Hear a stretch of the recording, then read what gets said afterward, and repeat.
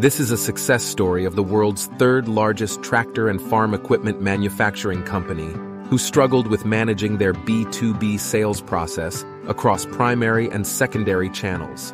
With a huge customer base across 100 countries and a vast network of 1,600 plus dealers, efficiently handling inquiries, sales teams, beat plan, and orders became more complex for them. The major challenge they faced was the lack of real-time insights on parts orders, distributors' turnaround times, field activities, and other crucial information.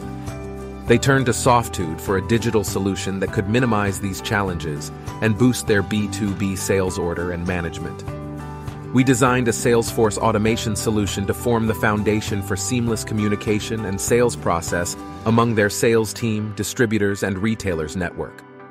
With role-based functionality and features such as order placement and management, detailed order reports and customer information, beat planning and report on beat plan adherence, field activity plan and report fill-in ratio report, payment collection history inventory status.